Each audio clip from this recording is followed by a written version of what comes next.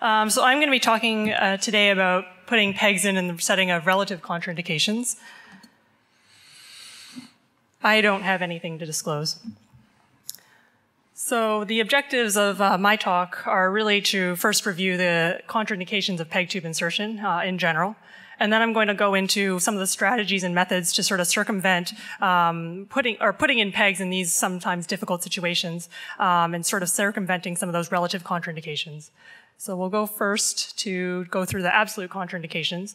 Um, one is to failure or inability to advance the gastroscope through the esophagus, either if they have severe trismus, that you're just, that they have a lockjaw, that you're just not able to put the gastroscope in, that would sort of preclude uh, putting a peg tube in in the first place. Um, like Dr. Teitelbaum talked about earlier, um, limited patient life expectancy, less than 30 days, um, is for me an absolute contraindication, purely because a PEG tube is mostly for long-term enteral access, and if the patient's not going to survive that long, um, then we have to really have a discussion about what the goals of life or goals of care should be. Um, along the same lines, another contraindication is uh, peritonitis and he, being in a, uh, in, in a patient that's hemodynamically unstable. So in terms of uh, my talk, we're going to go through some of the relative contraindications or what used to be considered contraindications to PEG tubes. Uh, one being uh, previous abdominal surgeries or any previous gastric procedures, either if that's bariatric procedures or, dis- uh, or gastrectomies. Um, with patients with ascites, um, the reason for that would really be because of the amount of fluid that can be interposed between the stomach and the anterior abdominal wall, which can sometimes um, cause increased risk of complications, whether that be from wound infections, leakage, or dislodgement. And along the same a lot of these are actually related to complications from liver cirrhosis. So that includes coagulopathy, um, putting patients at increased risk of bleeding, uh, particularly in the stomach or in the GI tract, uh, hepatosplenomegaly, um, really because of the reasons of having a large liver and large spleen can really um, distort the anatomy and it can sometimes um, be overlying the stomach completely, not allowing a safe tract at all. Um, gastric or abdominal wall varices, which also um, puts them at increased risk of bleeding.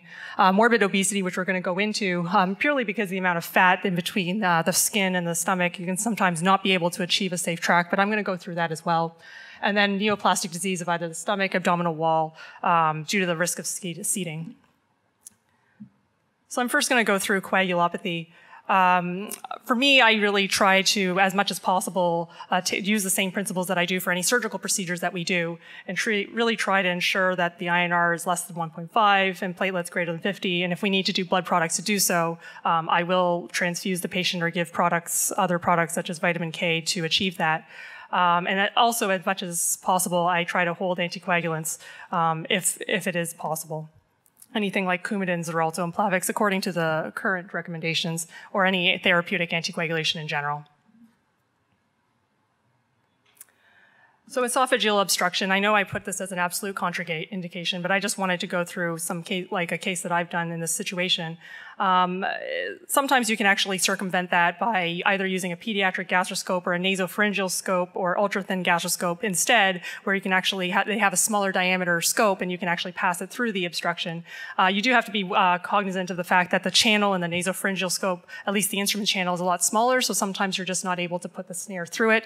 In which case, that's why we um, in that in that scenario, I'll use the push more. Um, to be more correct, it would be the introducer Russell technique instead, so you're not actually put, putting a lot of trauma or increased complications from that technique uh, past the obstruction.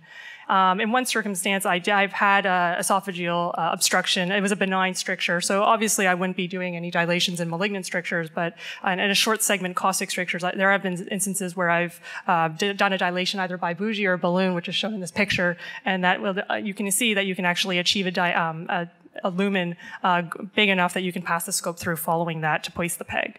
Because um, in these patients, a lot of the reasons that you're putting in the peg is because of dysphagia or malnutrition. So these are some tips in terms of how to circumvent that. So I just wanted to illustrate um, previous abdominal surgeries. The scars can sometimes get in the way, um, and it used to be considered a contraindication to put in a PEG tube, mostly because of the adhesions or the fact that you might not be able to achieve a, a safe window. Um, the CT scan on the on the right is actually showing a patient after a Whipple procedure. Um, the stomach is actually still uh, relatively well apposed uh, to the anterior abdominal wall, so that's where pre-procedure imaging is helpful in those, those, circumstances to see what you're getting into when you have these situations. Um, and you can see that maybe the stomach may may, it, although our typical location is two finger breadths below the xiphoid and to the left, you, sometimes you do have to sort of adjust your location and put it more left lateral, um, just so that you can achieve a safe tract. So as uh, Marita talked about earlier, that essentially is going through the safe tract technique for these um, for these cases, um, and you can see that you can safely put in a peg in these scenarios. So in morbidly obese patients, the reason that um, it's more difficult or more challenging in these cases is really because uh, there's so much fat in between the skin and the stomach that you're just not able to achieve all those three things in the safe track technique method. Um, you just can't get the transillumination, you can't get the one-to-one. Um, this picture is actually um, from a paper um, they call it the B zone because I think they were naming it after themselves from the first um, the first author whose name was Baciccio, but he was trying to name it after himself. That that's the area where there's less fat or less pannus, so there's less fat to go through. Um, and in these scenarios, you can use a spinal needle, which is a bit longer than the introducer needle, so you can gain access into the stomach, and you can see that endoscopically. You can put the patients in um, a full reverse Trendelenburg, and that helps to bring the stomach down, um, so that you can actually try um, try to put the peg in. And in some um, circumstances, um, you can do a cut down through the abdominal walls. So in, the, uh, in those cases, you, you can actually make a larger incision um, down to the anterior fascia so you can get the one-to-one -one and transillumination through your incision. But I will say that in those scenarios, you, you do have to close your incisions afterwards because they're increased risk of infection. But generally in these patients, they do have an increased risk of infection, so it's something that you ha do have to talk to your patients about.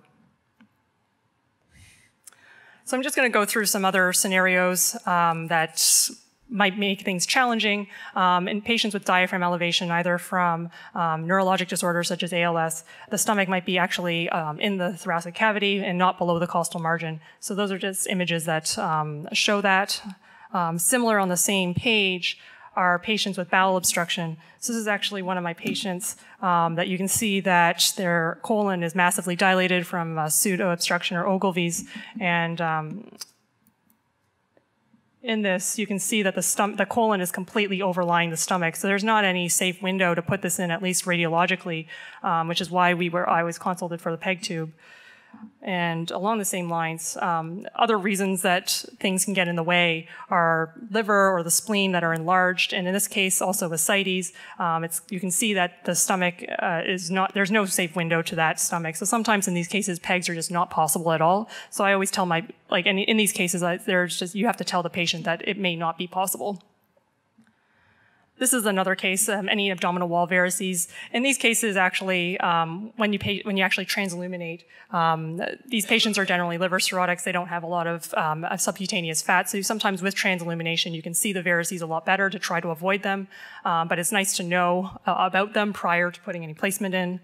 And in terms of all these scenarios, I kind of group them together in terms of what strategies you can use. Um, I really make sure that I ensure maximal insufflation of the stomach so the, the stomach is fully distended. So at least it pushes all the organs down, putting them in reverse Trendelenburg. Try to optimize um, the, this, your, um, your operating room to try to really make sure that you can uh, get a safe track to the, uh, to the stomach. Um, you can use adjuncts, which is going to be discussed later. I just put them on the slide, um, but you can use fluoroscopy, colonoscopy, um, and IR guidance. You can use, rely on your interventional radiology colleagues. So on the right, you can see that the, the radiologist has put in a needle, so you can actually use that as your uh, as a marker for you to put in the pegs. I mentioned ultrasound as there's some papers that actually illustrate that for um, abdominal wall varices or gastric varices, your radiology colleagues can actually mark them on, this, on the anterior abdominal wall and the skin for you so that you can try to avoid them. Um, so ultrasound is a useful adjunct for that, but I'm going to not really go into that because there's a talk later on that. So in patients with high risk of dislodgement, um, those do include patients with hiatal hernias, dementia and agitation, as um, we talked about earlier, patients with ascites purely because of the amount of fluid that can accumulate. Um, is particularly in poorly managed cirrhotics, the amount of ascitic fluid can vary from time to time, so that puts them at higher risk of dislodgement. Um, peritoneal carcinomatosis, and then eh, factors that contribute to poor wound healing, so that precludes um, getting a mature tract, so that includes malnutrition, uh, immunosuppression, or chemotherapy. So as outlined earlier, um, in those scenarios, I will actually, um, in addition to the PEG, I'll put three T fasteners around it. Um, that helps to appose more stomach area over uh, to cr create a larger tract, um, so that if the tube gets dislodged, there is a possibility that you can replace it safely or have your radiology colleagues help to replace it safely. Um, and so that you can uh, decrease the risk of peritonitis. Um, and you can also put an abdominal binder on as well to prevent that. But I will say, though, um, I've had patients with severe dementia and agitation, despite all these T fasteners and abdominal binders, they ripped it out anyway. So it's not a guarantee at all, but it helps, at least decreases that risk of dislodgement, uh, maybe a little bit. So I just wanted to illustrate here in patients with hiatal hernias, sometimes um, the tube can be placed a little bit more distally. You may not necessarily want to put it in the fundus. So that's where um, additional imaging or sometimes even a laparoscopic assisted might be helpful uh, to make sure that you've placed the peg in the right location. Uh, but putting it more distally sometimes reduces the risk of dislodgement so that the stomach, when it does go, if it does go back into the chest, um, it doesn't really pull the, the stomach with it if it's more distal. So in terms of any overlying devices, I'm just showing some pictures of uh, a VP shunt on the left and then a cardiac pacemaker or ICDs are on the right. Uh, sometimes these leads can sometimes not, you can't really see them on the um, outside, but with fluoroscopy or x-rays, you can actually see where the, the tracks of these um, leads are. So that can be a useful adjunct uh, to prevent any um, dislodgement or interference of those uh, devices. So it is possible to put a peg in, and I would use fluoroscopy in those instances. So in conclusion, I really just wanted to discuss some techniques um, in terms of the importance of pre-procedure imaging um, using SafeTrack methodology, and you can actually use real-time imaging at the same time to help with PEG tube placement. But it really is possible in those in, in non-ideal and high-risk patients. It just really depends on having a good goals of care discussion, which uh, Dr. Teitelbaum talked about earlier. Um, but it is safe and it is possible. So um, I will be able to take any questions if there are any.